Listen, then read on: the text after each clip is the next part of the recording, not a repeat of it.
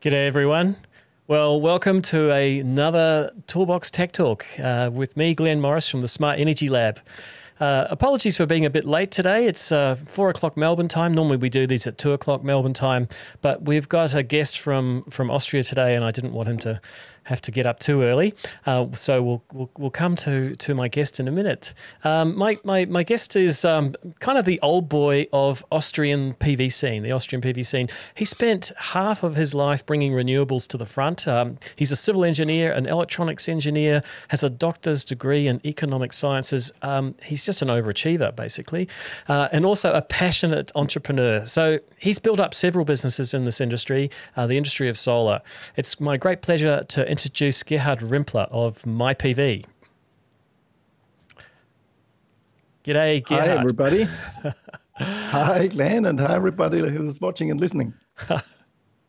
Great. Oops, we got a little tech issue just happening then. Um, yeah, so uh, our next guest, there's two of them, is and I'll just bring me back. Here we go. Uh, my second guest today has run numerous commercial plumbing and, and maintenance businesses, has been the vice president of the Masters Plumbers Association of Australia for the past eight years, and has been developing solar PV heating solutions through his business Energy Smart Water. It's my pleasure to introduce Norm Anderson. G'day, Norm.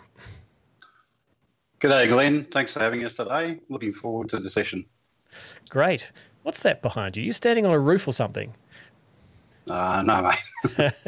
it does look like a roof, but uh, no, I'm inside inside the office, mate. I must admit, it's sort of uh, been quite interesting to me that uh, the world of plumbing has started to move into the the electrical world to some extent with with solar PV and water heating. So we're going to talk a lot about that, aren't we? Most definitely. Yeah.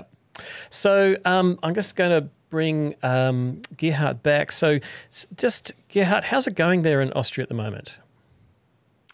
Yeah, we're pretty fine. We're uh, autumn is uh, starting. What we are also somehow affected by the by the Corona issue.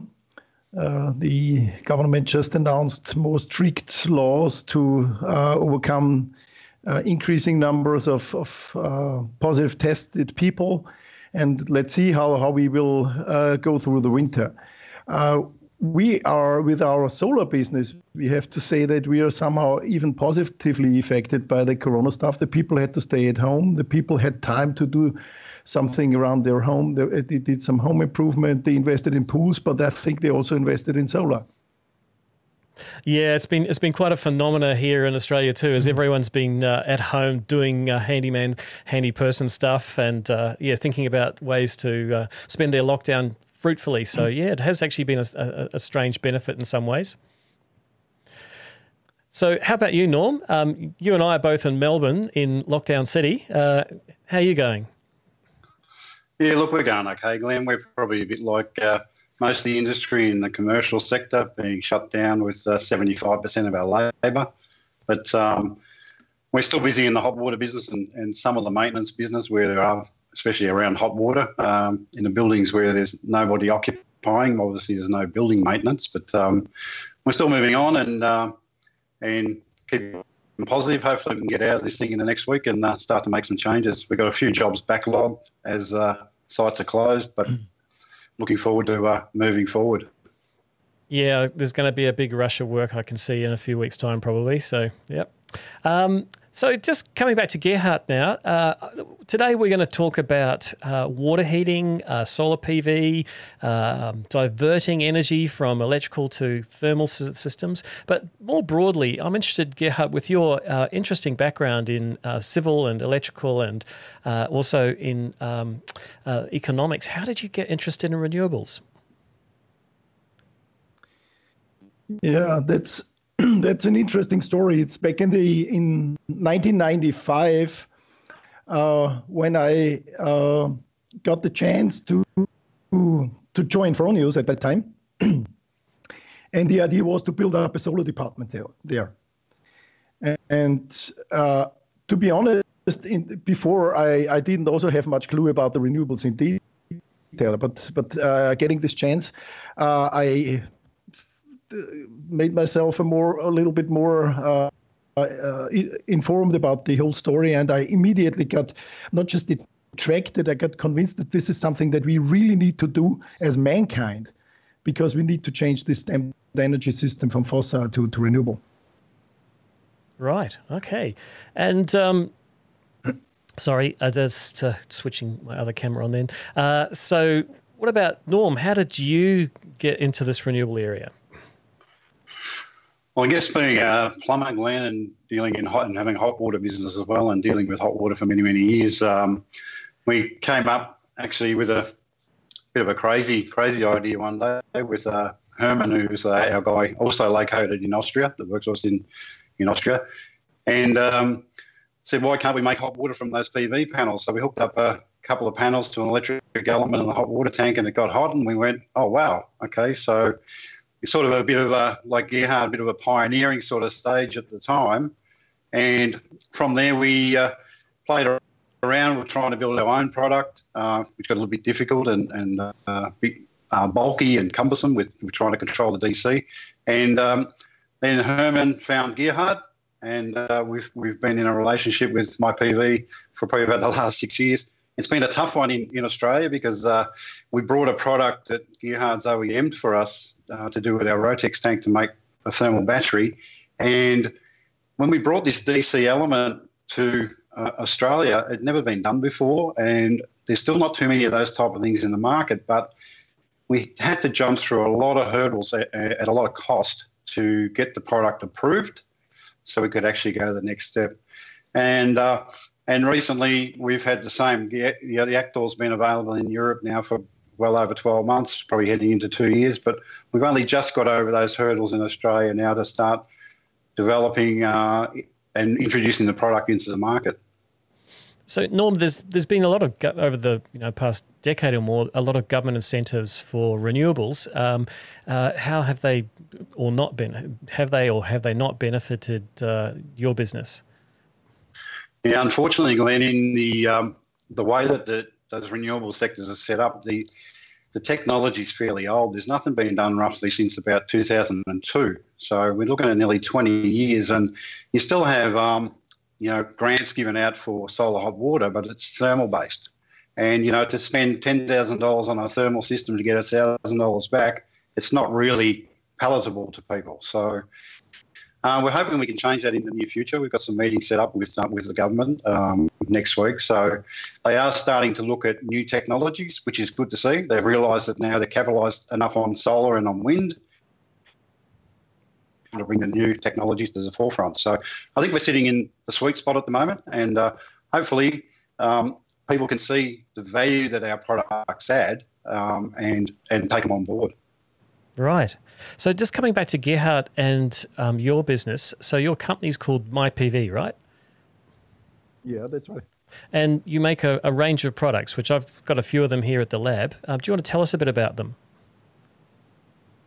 So the idea started about in 2014 when uh, we brought the first product uh, creating uh, heat directly from solar panels. So it's it's uh, like Norm told, uh, connecting solar panels to a resistive element in principle is not a problem at all. Uh, but I'd have to, have to say a warning at this point. If you try it at home, uh, electrically it's not a big problem. it, it would work somehow if, of course, would not do any MPP tracking. So the the, the solar panel would run at whatever point the, the element brings at the situation. But there is one really uh, safety issue that I need to mention. Uh, the element itself doesn't care if you power it up with DC, but there is always a thermostat in between. And the thermostat is a mechanical, like a relay, just separating contacts. And it, this doesn't work with DC. So don't try it at home.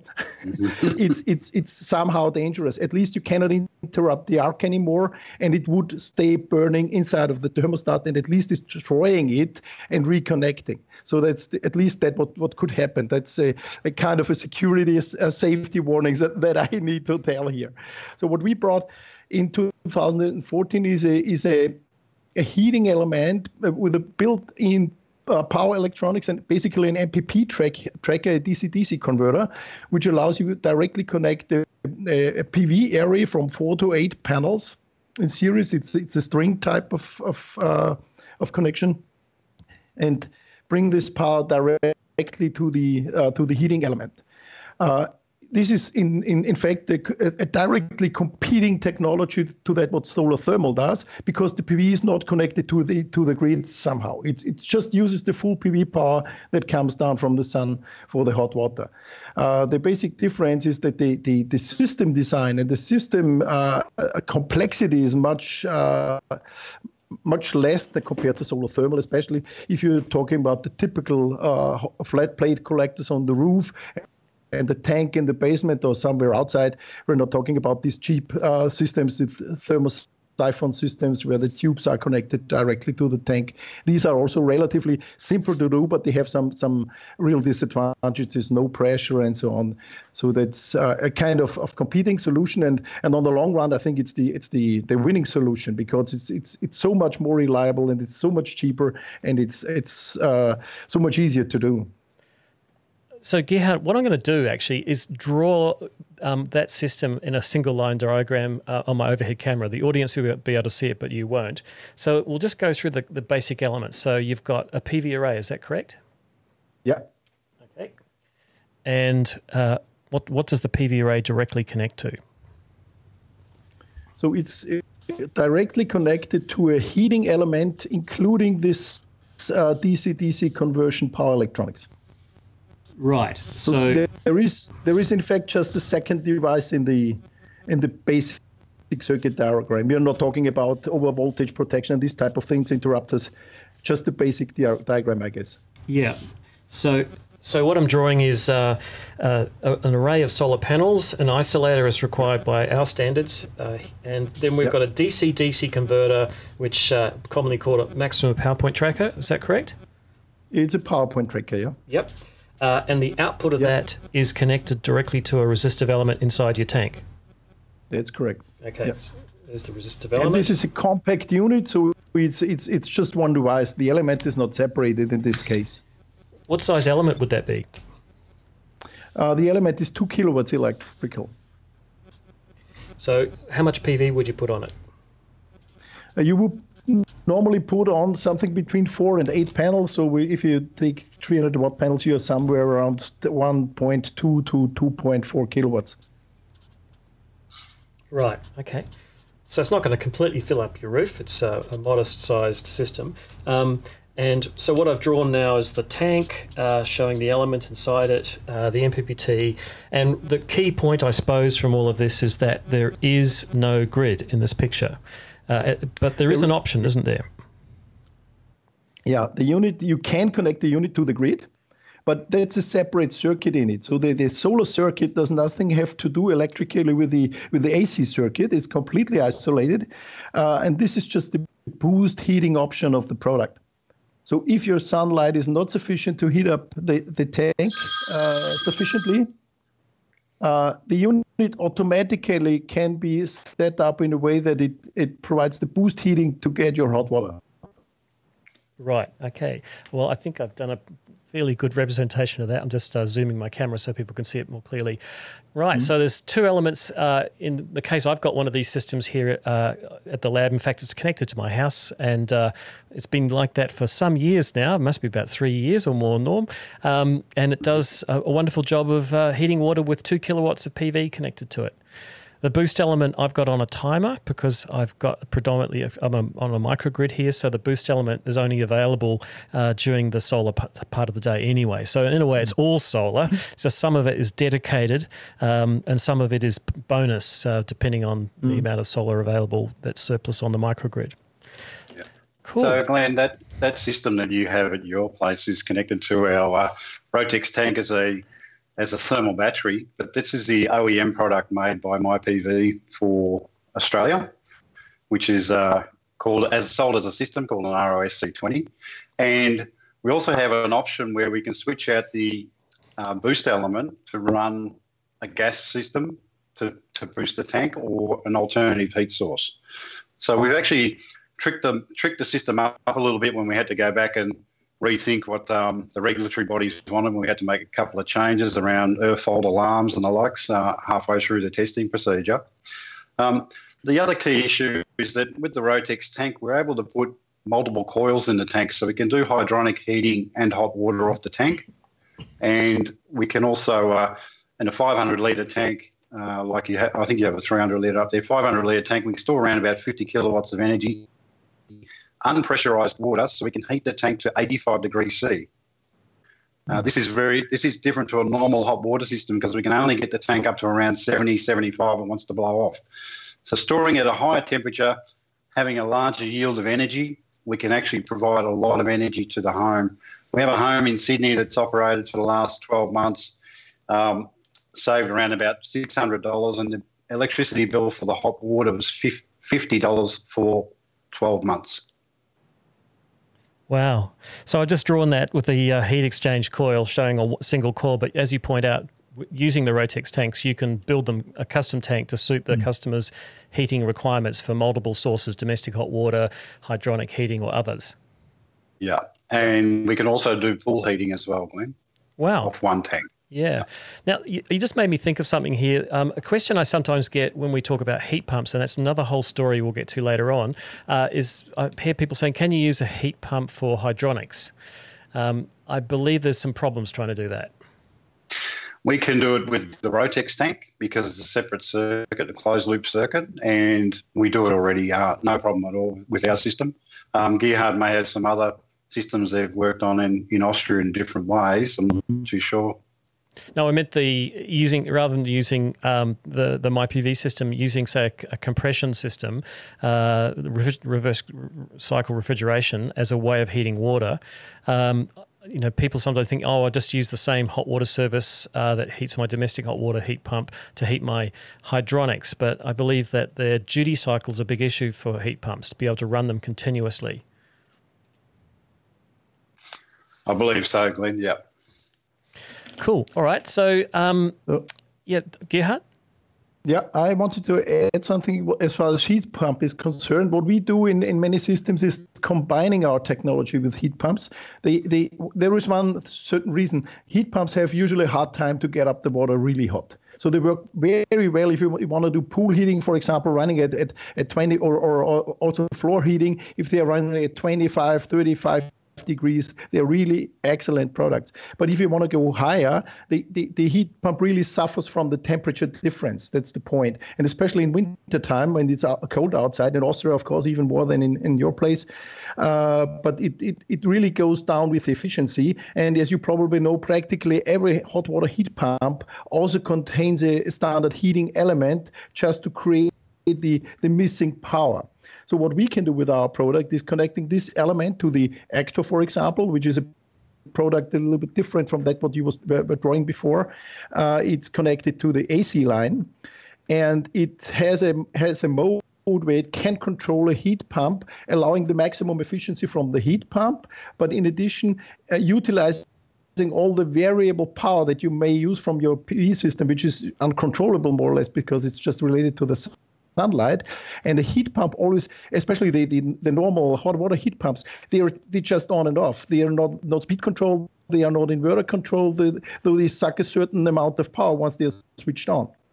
That's one thing. Second thing, they are not, uh, they don't have unlimited switching, switching cycles. So you may not switch them on and off instantly. If you once run it, you have to run it for, let's say, 15, 20, 30 minutes. Uh, and if, if you stop it, you have to stop it for a certain time. And all this intermediate stuff where the heat pump can't cope with, we can do with the AC THOR and control linearly and use all the PV power that is excessive. Now, you mentioned the AC THOR, and I've got one right here next to me uh, um, in the overhead camera. I'm just going to bring it on so people can see what, we, what you're talking about here. And maybe you, um, you could explain a little bit about it. I'm just going to open the box. So uh, it's actually quite small, as people can see. There's my hand there. Um, it's amazing. This is the um, AC THOR 9S, so it's actually capable of 9 kilowatts. Is that correct? Yeah, that's correct. Yeah and it's definitely a feature. It's extremely small, the, so the power density of that product is incredibly high. So um, my, my partner, who's not really electrically minded, she said, "How can that be nine kilowatts? It's so small. My heater's two point four kilowatts, and it's way bigger than that." yeah, it's, it's going to be an unboxing video, huh?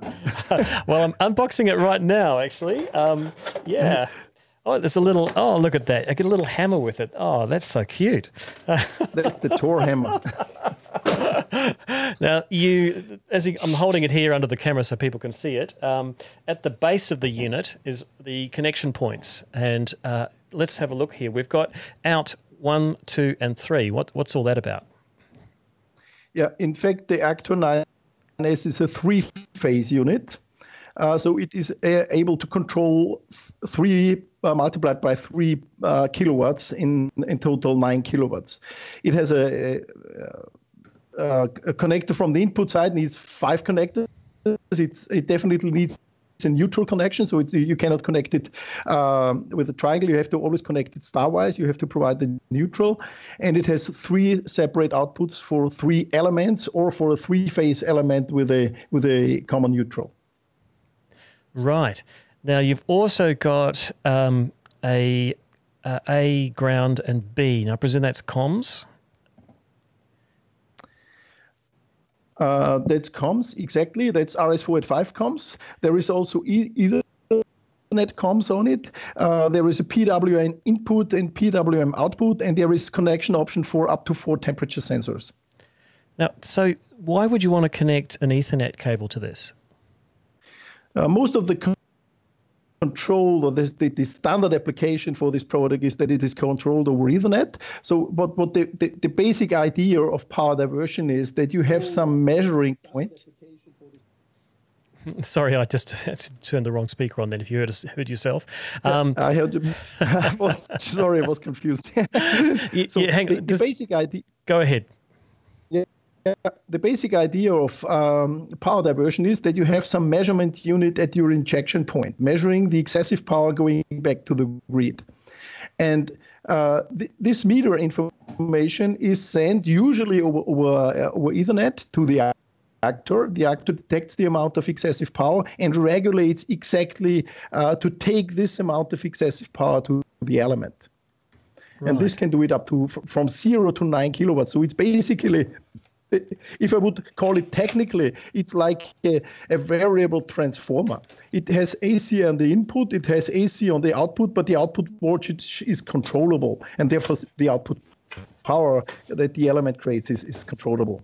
So, for your benefit, because you can't see me doing this, I'm opening the, the meter box, the MyPV um, power meter. Now, personally, I, I was rather excited when I discovered that you could connect the power meter over Ethernet because in my lab, um, there's like five buildings actually, and the hot water service is a long way from the main switchboard, but I've got a data network going to all the buildings. And it meant that I could put the MyPV at the sort of the microgrid um, grid forming system, uh, and it could measure surplus energy flow and communicate that with a remote building without having to run a whole lot of separate comms cables. Yeah. So the, the, the power meter also had an Ethernet plug, as you mentioned. So it is it is somehow a smart meter. I wouldn't really call it relatively smart. It's just the, the comms that it has is smart. The metering is more or less standard. It's a bidirectional meter, uh, but it has the, the comms provided uh, for the AC THOR. You could either connect it directly to the AC THOR, so no no network at all is required, or you could connect it uh, through just standard uh, network uh, setup in your in your household uh, with your router, router and, and, and switches and so on. Great. Uh, I'd just like to uh, invite the audience. So, we're actually streaming live to Facebook, to YouTube, and to Twitter today. And you can ask questions in the comments field. So if you want to type a question in, uh, and I'll just uh, repeat the question to our to our audience to our guests, and uh, you can get a live answer. So just remember those comments field. That's where you can put your questions in. So um, we've got quite a few viewers, but uh, no comments so far. So feel free, even just to say hello. Uh, we know we've, we've got one hello. We've got two hellos. G'day. So we've got. Um, Ketty Owl says hello, and Michael Mayer says hello. Great from Tasmania. and it Michael sounds like has one of, he does. He says, Michael "I'm." A, has, uh, he has one of our units installed down in Tasmania. That's right. yeah, he's just saying I'm a, an AC THOR user um, off grid. So yeah, that's great, Michael. Um, yeah, so just coming back to the technology, we've got um, the MyPV uh, DC solution, which uh, in Australia, what was it called? The model number? So it's an R, ROSC20 because uh, it's actually sold as a system. Yep. Uh, um, So it, because most of our hot water plants are external, so it sits outside and has a weatherproof housing and quite a few other things. Uh, it's a longer version element um, to suit the tank. And uh, yeah, product works really, really well. We also use the product in commercial applications where we've replaced uh, thermal solar by injecting kilowatts just into maybe three or four tanks in series, putting eight kilowatts into the system, reducing uh, running costs from ring main losses in buildings, you know, uh, by ten to fifteen, twenty thousand dollars, depending on the size of the job. So. A question I get quite a bit is why would I use PV to heat water when solar thermal is inherently so efficient at converting uh, sunlight into to thermal, you know, heating of water? Well, we've got a, a at our interact solar thermal system set up, and we're actually a big solar thermal installer as well. It depends what our client wants, but it is dying fairly rapidly globally uh, because there's a lot of complications with it. You've got problems with uh, the weight of the, the panels generally on the roof, freezing in, in cold temperatures, over temperature, pipes, you know, thermal heat losses, all the things that, that create a problem. And the data we're getting off our system here, like about 10 kilowatts off a thermal system, the best we've had off an SC20 is around 16 kilowatts. If we take the thermal system and we take the heat loss and the running of the pump coming on and off as well, into into uh, the situation, we're probably about double the performance of the of the uh, thermal panel.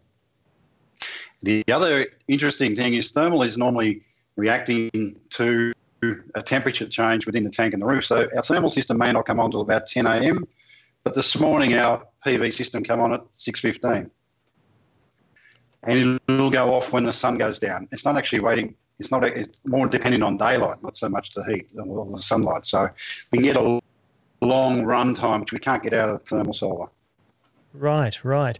I just might add my perspective on this one too, which is um, having actually installed uh, a, a, little bit of um, of solar PV uh, thermal systems uh, with a plumber, of course, uh, and knowing the cost of plumbing. Sorry. Norm, but it is a quite an expensive trade, and copper pipes are a lot more expensive than copper wires, and also the the, the runs of your pipes. You lose a lot of energy uh, over distance with copper pipes, even if you lag them properly on an outside of domestic building. So you've got all these losses to factor in in the thermal system, uh, and your um, you know labour costs are often quite high, and it's uh, compared to sort of putting a PV system up with in Australia, that the costs are so low now because we're very, very efficient at uh, putting PV panels on roofs. And uh, even though they might be um, area wise less efficient at converting sunlight to, to electricity, um, from a, a, total cost of ownership, I think they're definitely cheaper. So you know you've got low labour costs, uh, very low material costs, and uh, you've got all those added benefits of my solar panels never freeze and crack my PV panels because it's a cold winter's morning. They just work mm. better. they love the cold. Yep. So uh, you know I don't have any of those um, those thermal issues. Also, they're going to last a lot, lot longer than a thermal system, I imagine. So you know mm. there's no moving parts, there's no pumps to replace etc. Um, yeah, so there's a lot of wins for me, um, but it does take up more roof area. You got I, I like to point that out. You do need a bit more roof area. So if you're really constrained in roof area, that is a consideration, wouldn't you think? Uh, what you got to consider, Glenn, is that with the MyPV technology, we, we're probably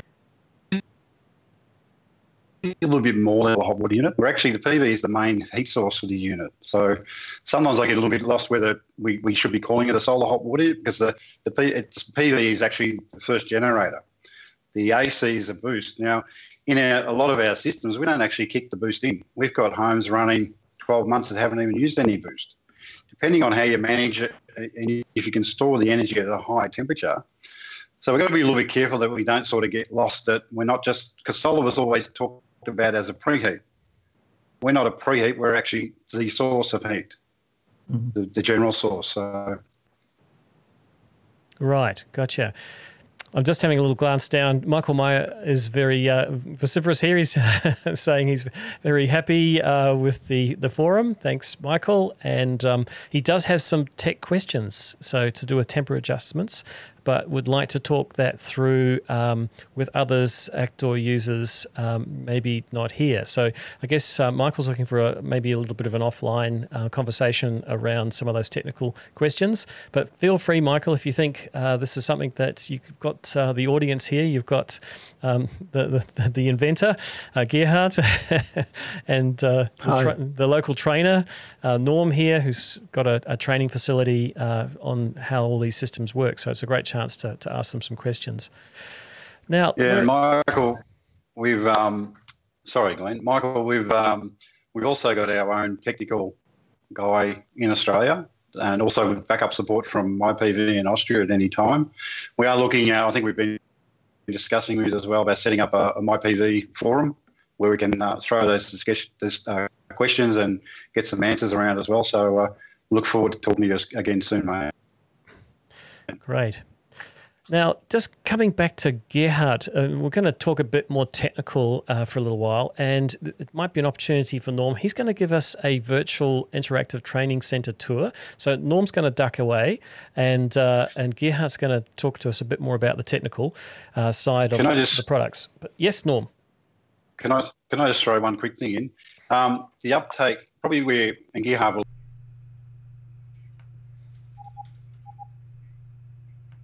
we can get up to 85% self consumption without batteries. Um, the uptake in Australia has been really, really low on, on um, self consumption. We're looking at around about 20%. Even though we use, we are, you know, I think about third or fourth biggest, largest solar installer in the world, we're not using it to its full capacity. So I'm hoping today is a bit of an education process for, for the listeners, and, and we're more than happy to get involved and work with them and explain. Um, you know, we have a webinar set up for a couple of weeks' time that, you're also going to talk about a bit later, Glenn. But, you know, we just want to get people to understand there's more to PV than just put it into batteries or, or dump it in the grid. We're seeing um, West Australia now drop down to three cents um, for feeding tariffs, and soon it'll be zero. There's talk about people, about the energy companies wanting to charge us to put our excess into the grid. So we need to be thinking more about these type of products that can actually assist the homeowner and then get the benefit out of, their, out of what their investment is with their, their solar on their roof. I'll go and get set up and uh, I'll join you shortly. Okay, good one. So uh, just coming back to you, Gerhard, I actually got a prompt from Kelly. Thanks, Kelly, uh, who actually works for Norm, and she's uh, taking her Sunday off and not taking it off and just watching this live. Um, she asks a bit about the different modes that the AC THOR can operate on, including things like frequency shift. Did you want to talk a bit about that, Gerhard?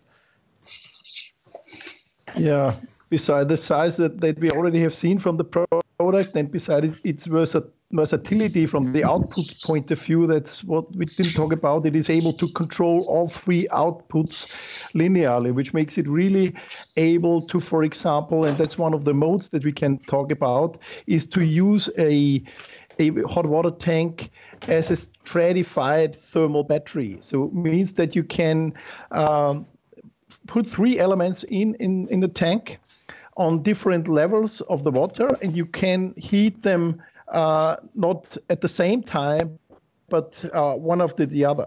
Means that you have, for example, let's take a 300 liter tank and you have three elements put in one third of height each. Uh, you would have 100 liters of heating capacity at, at the top, and that's what we would heat primarily. So you get relatively quickly 100 liter of hot water and when it's hot, the, the AC THOR can switch to the next element and, and run the next 100 liters and so on. So it really stratifies the tank with the benefit of having relatively uh, quickly a certain amount of hot water because you're, you're, you're not very happy if, you if you have 300 liter at 43 degrees. Uh, it's much better having 100 liter at 55 or so. So that's that's one of the benefits of the of the product. Uh, I'm drawing uh, this while you speak. That's one by of the, the modes, by the way. Yeah, I'm just drawing this while you speak. So I've drawn a tank, and I'm showing uh, stratified with the three elements, and uh, so L1 at the top being the first phase to be diverted, then L2 in the middle, and L3 at the bottom. And I like your point that you'd rather have 50 litres of water at uh, 55 degrees Celsius than 500 litres at 25 degrees Celsius. yeah, it's really important. So, the, as I said, that's one mode of the product that can then uh, really stratify through the um, through the elements. Uh, Norm did a nice solution with the Rotex tank uh, where the element is, is vertical rather than horizontal. And he designed an element with three sections. So it's a single three phase element with three different sections of, of uh, where it heats, uh, finally having the same result as your drawing just showed. Um, that's one thing. Another mode of the of the AC THOR is, uh, and that's the point that Kelly uh, uh, mentioned, is the frequency uh, mode. You know that uh, in off-grid systems, some inverters are able to do so-called frequency shifting. Um, means uh, telling inverters or other devices uh, by the means of changing the frequency if it's power required uh, or not. The basic idea was to control the, the PV inverter uh, getting uh, controlled or, or limiting their power as soon as the battery gets full. And what we can do is using exactly this information means the frequency to control our load. So the, the result is that the, the, the AC THOR jumps in before the PV inverter decreases its power. This is, means definitely usage of, of otherwise totally wasted PV energy. Okay, so I'm drawing a graph here with frequency along the, the bottom and uh, power on the right left hand axis, which is power of the PV system. Uh, and under a normal frequency shift off grid system, what would happen is as the batteries are approaching their target voltage, we would see the frequency increase uh, and a frequency ramping of power downwards, you know, typically what, around about one and a half hertz range, something like that. I think the defaults are around 50.2 to 51.7 and, and four triple seven. Uh, so those that frequency ramping is power reduction of the PV, but you're using it as an opportunity to consume energy. So you just basically have the inverse of that in terms of the way the AC THOR um, consumes power based on frequency. Is that correct?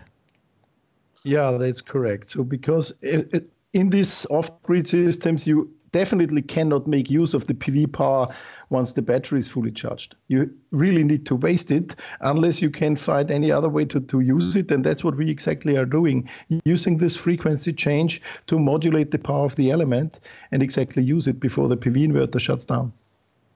Great. Okay, I think I did a reasonable job of drawing that while, you, while you're talking about it. Uh, so that's another mode of operation. That's the frequency shift mode. Um, and we've got our multiple element mode. Uh, any other modes? Yeah, modes to control the heat pump, as I mentioned already, modes to, modes to control room heating. Uh, that's an option which is not so well known already because room heating is, is uh, if you do it electrically, is of course strongly related to heat pumps. Uh, the strategy that we follow, and that's uh, maybe not that common yet in, in Australia, but what we see here in Austria, in, in, in Germany, in Switzerland, which are uh, important markets for us, of course, uh, that the houses from the from the regulation point of view, they are so well insulated that their annual heating energy consumption is so low that you hardly can justify a very expensive and, and hydronic heating system. So if you do it differently and say, okay, do the heating electrically, either by, by, by floor heating or ceiling heating or, or uh, infrared panels, and put your money not in the basement with an expensive heat pump, but put the money on the roof with PV panels, you get a nice system which has the same effect. You don't need more electric energy over the year from the grid. You have your additional PV system which powers up your TV set and all the all the other stuff. You can combine it, of course, with batteries to run your your house overnight. So this really comes out with a new, let's say, system design of the of the heating of, of a house which is well insulated or if you are in areas where, where let's say your outside temperatures are not as low as here for example Actually, this might be an opportunity for me to give a plug for your webinars that's coming up. You've got one on the 1st of October, uh, 4 to 5 p.m. I presume that's Eastern Australian time? Yeah, that's Eastern Australian time. Yeah, yeah, yep. cool. And uh, you'll be looking at residential uh, power to heat, uh, PV self-consumption improvements, uh, etc. So there'll be uh, um, probably a lot more tech than we're talking today, uh, with slides and stuff that you've you've, you've already um, shown me some some of them. So for those who are interested in a lot more detail around this product, this is the opportunity. Now the link is actually in the comments area currently in YouTube um, to register for that and is it free? Yeah, of course it's free. Yeah. Yeah. even better. And I'll add it to the link, the comments in, um, unless Kelly does, uh, in the Facebook feed as well.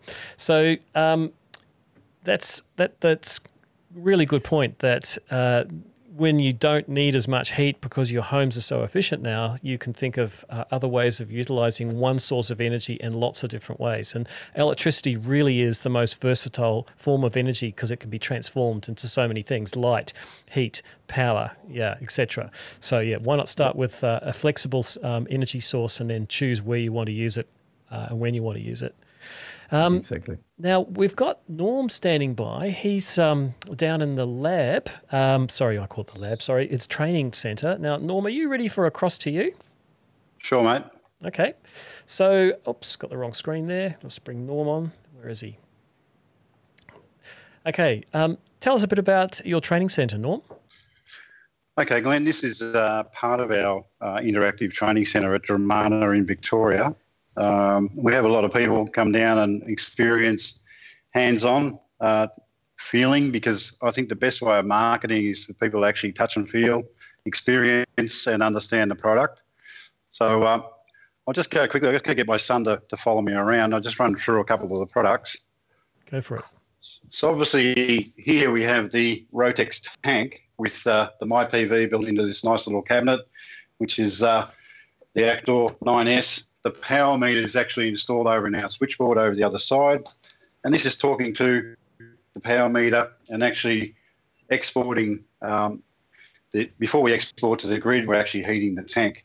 Um, the other new feature that's just come out from MyPV is a, a Cloud Connect option uh, that people can, can dial into. So it's, it's uh, also part of why we need the Ethernet connection. So you can now monitor your device, but also you can actually do some remote changes to the device um, with this Ethernet connection if you join up to the uh, MyPV cloud. Uh, this is this tank's actually being used. It's being used to do hydronic heating for our staff room upstairs, providing the domestic hot water for the facility as well. And this is the triple three-stage element that we have in the tank. So each element's actually recording. It's a little bit hard to see the screen, but uh, we can go into more detail um, maybe in the webinar so you can understand what's going on. The next tank's actually our MyPV SC20, and this is the um, DC element, which has got the, the weatherproof housing on top. It'll be hard to see the screen on the right, but the other thing with this product is it's also data recordable, so we can get all the data. It's factual data. This is stuff that we can't get from PV thermal um, unless we try and break it down in some magical way. But everything is actually recordable here. So if we look at it today, our tank's maxed out at temperature 85 degrees. We've had a 10 degree uh, rise in temperature.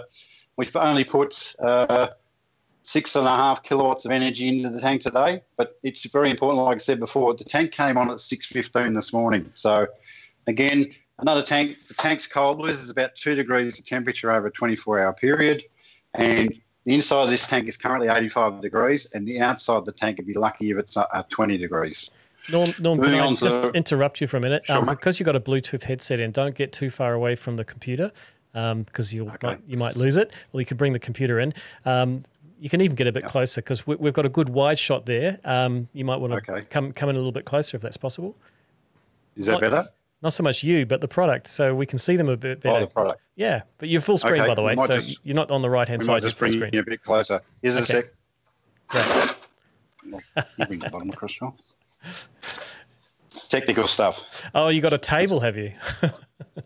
We've actually got a um, stool with a, rotating stool because it acts quite good to move the camera around.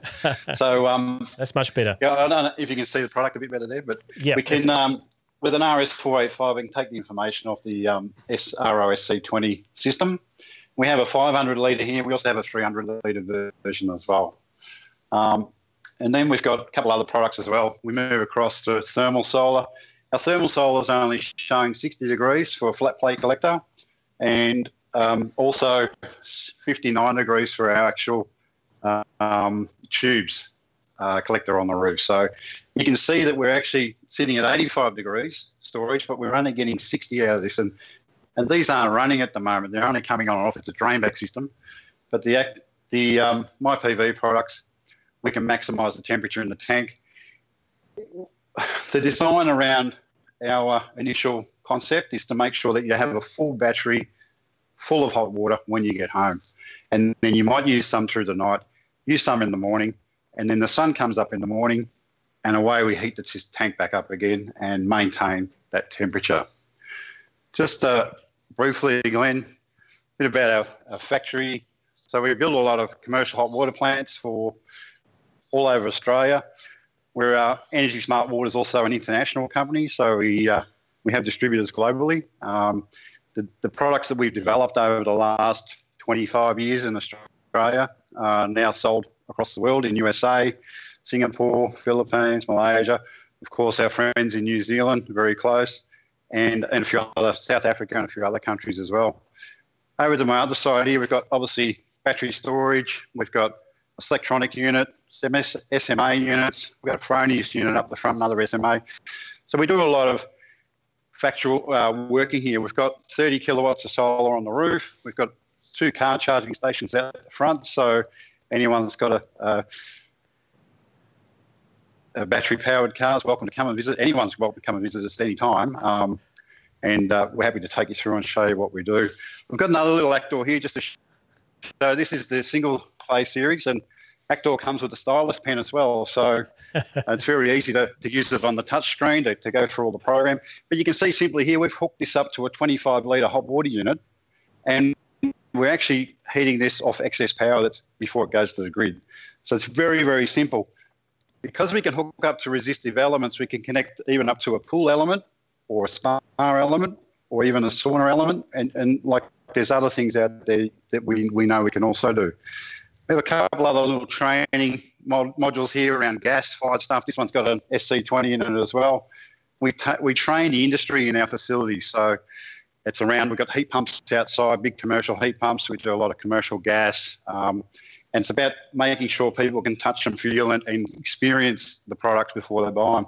The last one's probably the one down the front, which we still haven't got um, to the certification uh, table yet, but uh, that's an SC20 in any hot water tank. And that's actually working at the moment. And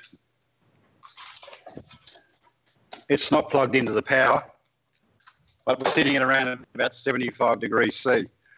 Um, regulators and certification labs say we must get this system tested with every tank, which is a bit ridiculous. So we're, we're trying to work through that at the moment. Um, that's probably uh, a quick snapshot of what we do here, Glenn. And um, as I said, anyone that's uh, interested in coming to visit us and uh, having a meeting and, and, or looking at the products are more than welcome anytime.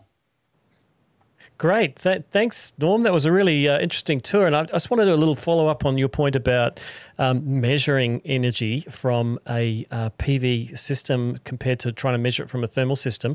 I've got uh, switched in monitoring my system here, and I'll just bring that slide up so people can see what it looks like. And I love the fact that I can compare um, the amount of DC uh, free solar heating compared to the amount of AC boosting. Now, we're just coming out of uh, winter here and being on top top of Mount Tulibiwong. It's kind of winter for longer, uh, so it's pretty cold up here still. So we're still doing a bit of boosting.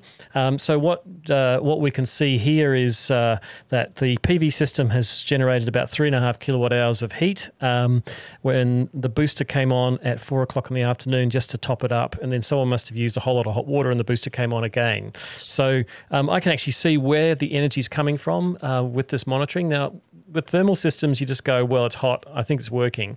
I hope it is. I don't even know where the energy is coming from. Was it from the electric booster or was it from the, the thermal system? So, yeah, I, I really like the fact that you get um, all that extra monitoring capability um, with with a, a PV um, controlled uh, water heating system. So, um, th- yeah. thanks for that may, factory may tour. May I add something, Glenn? Yep. Back to you. Yeah. Uh, what we figured out in many systems when we added this PV uh, hot water stuff, uh, we, we got complaints that the system doesn't work correctly because the, the, the water doesn't get hot. and the real reason was they had so much problems with the hydronic system, either with circulating uh, the heat out uh, or with other problems. And in the past, they had gas heating or whatever, which just covered this this problem. So they didn't figure out that they have one. They just re- recognized it when our system was uh, was added, and they were able to see the figures and and ask the question, where the hell does the energy go? So this is really a benefit uh, often in, in hydronic systems that, that they are not not well adjusted or the pumps are not well regulated and so on. There, it, it's it's somehow uh, really a point where you can improve your system, not just from the solar point of view, but from the systems design point of view. Good point. Now, yeah, another um, one to add to Glenn. Yep, go for it. Um, what we did in New Zealand probably about three and a half years ago, we actually had a, a field day uh, for a solar field day out in the middle of a paddock, and we hooked up the SC20 in a Rotex tank to four panels, so one kilowatt of, of um, heat or, of, of electricity, and we made hot water in the middle of the paddock. And people were, were, were dumbfounded that we could actually make hot water. So the other beauty of the product is that because it's off grid, if you lose power, we've still got hot water because we can mm-hmm. keep the tank is actually an off grid situation. So we can make hot water anywhere. Right. Very, very simply. Yeah, so more resilience, not one energy source for all services. Exactly. Now we've got some questions coming in. Um, so let's see. The first one is from Arthur. Um, he asks, "Can these can systems like the Victron GX control uh, the AC THOR over the network?"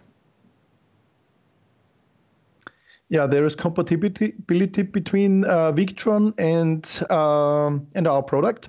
Uh, there are two ways as it, as it, works. It can either take the communication from this uh, from this display unit from uh, from Victron, or we can do this frequency sh- shifting stuff. Right. So if you're talking to a Victron GX uh, via comms, are you doing it via the Ethernet? Is it TCP Modbus over TCP/IP? Yeah, right. that's correct. Um, Kelly also says um, she asks about compatibility in terms of the frequency shift function. Uh, what inverters can uh, can in off grid do frequency shift, and the AC THOR work with them? So it's it's tested at the moment with Selectronic, with SMA, with Victron, with Studer, with uh, yeah, I think that's the main players at the moment. Yeah, so pretty much the the main players and in Australia. Fronius? Fronius doesn't do any off-grid inverter, oh, so they're Sorry. they're not frequency shifting. Right. Okay. Great. Um, we've got a question from um, Trady Trev. G'day, Trady Trev. Uh, he's a couple of questions here. He says, um, "What can't we do over RS485? I bet you could link a bunch of them together." I suspect he means a bunch of AC THORs together. Yeah. Uh, there are two options to connect a bunch of AC THORs together. One is the master slave feature of the of the product means from external you control one unit and the and the units uh, in their own communication share power which can uh, can be done either synchronously means all the products share the same power, or they can be run in a stratification mode. Means depending on the temperature of the of each temperature sensor, uh, the units uh, jump in, uh, heating one section primarily, and then the next one, as we had with this three element stuff with the AC THOR 9S. Or of course, you can control if you have a management system which can talk to each AC THOR individually. Of course, you can do that uh, also. Okay, we've got a follow up question from uh, Trady Trev, which actually is a good segue to uh, your oscilloscope that you've got. I know Nick's sitting next to you. He he asks, um, this product looks similar to Catch Power, which is a, a, one of the many power diverters available in Australia. Um, do you want to talk a bit about how power diverters work and the different ways that uh, you know they manage that power diversion? Yeah, uh, I want to really start with this oscilloscope scope here uh, because the, the background here is, let's hold on a second, hope you see it properly? Yes, that's good. Yeah, sure. That's great. Yeah. Uh, what you see here is just an, an oscilloscope, a real-time oscilloscope picture of the, the, the grid line from if you just look roughly at it, it, it, looks like a sine wave. But if you look at it more in detail, you see that it's more or less uh, flattened the curve. what it call it these days. So on the top of, of, of, the sine wave, it's more or less flattened. Uh, this means uh, a lot of uh, power supplies suck their power, their current, mainly at the peak, uh, either top or bottom of, of the sine wave. And that's something that the, the grid operators, of course, don't really like because they disturb their, uh, their, their pure sine wave that they should supply on the grid. It creates distortions. It creates, uh, uh, uh, in this case, also, let's say, inefficiency of the grid because you draw the current more or less just at one time and not over the over the entire time.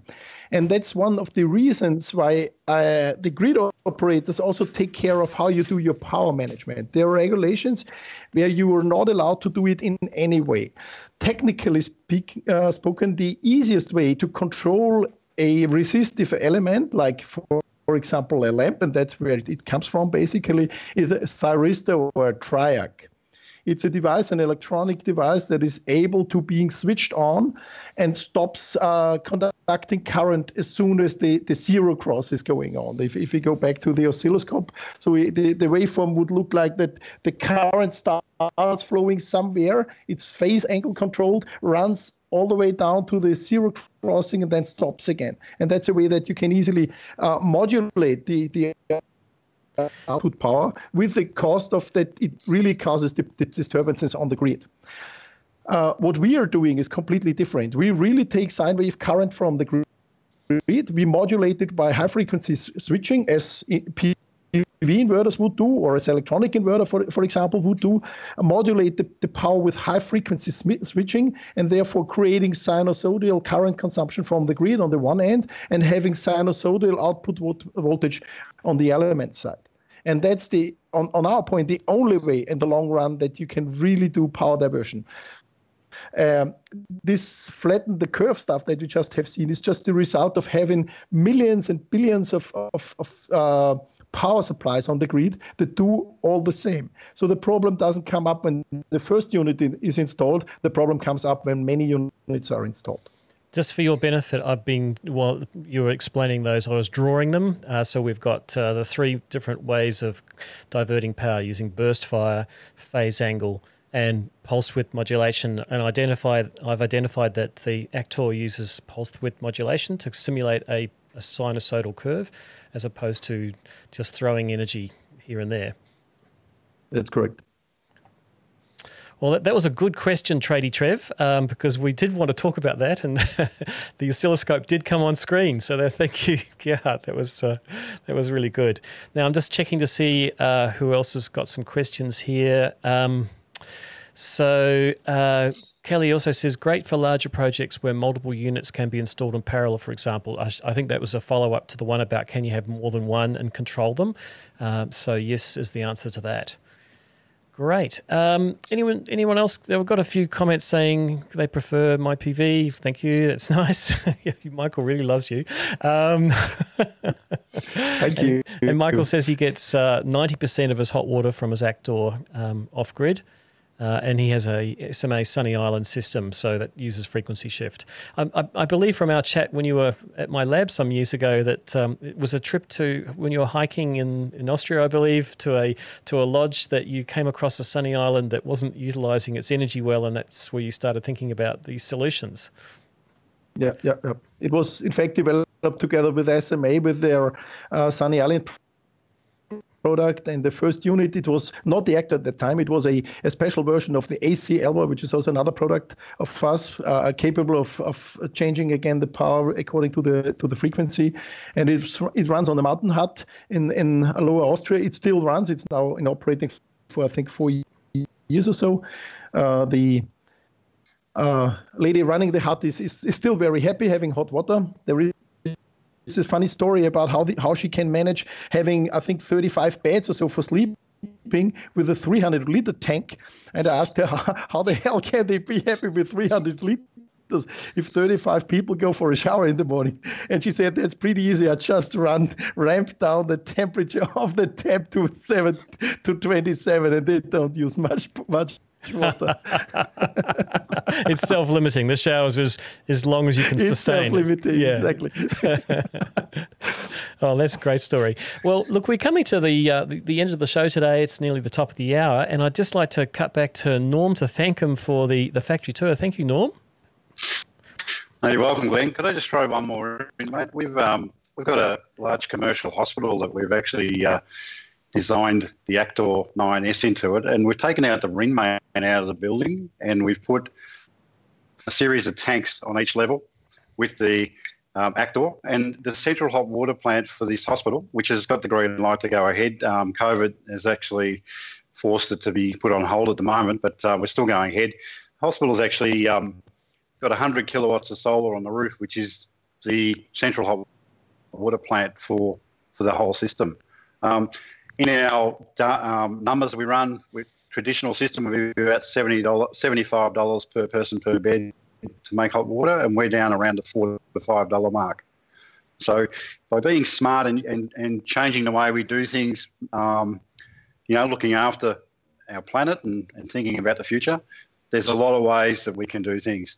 Um, same with our tanks, you know, embodied energy. It's a plastic tank inside and out. It's got a 100 mil thick foam wall. As I said before, it's very, very um, durable. We've been exporting, importing these tanks into Australia for the last 26 years. Um, Rotex is a company that's 40 years old, so our relationship has been very strong since they pretty much started. And uh, as I said before, we look forward to anyone that wants to come down and see us at any time. Uh, feel free to give us a call. Great. Thanks Thanks very much for that, Norm. And uh, thanks for showing us around your, your uh, interactive training centre. It looks very impressive from here. And uh, thanks once again to Gerhard for getting up so early and uh, coming to talk to us all. Thanks, Gerhard. You're welcome, of course. Thank you very much. So that's it for, for today, but I'd like to just uh, give one more plug to the webinar. It's on October the 1st, 4 o'clock till 5 o'clock um, East Australian time, uh, which will be run by MyPV and Energy Smart Water. So the link to that is now in both, thank you, Kelly, in the Facebook feed as well as the uh, YouTube comments. So you can just click on that. It's free to register. So um, if you like this show, um, just you know, click the like button. Uh, if you're on YouTube land, you might want to subscribe to, um, to, my channel, and we'll be back the same time, but oh, actually at two o'clock next week. So two o'clock's our regular spot on a Sunday for Toolbox Tech Talk. So thanks very much, everyone, and we're out. Hey.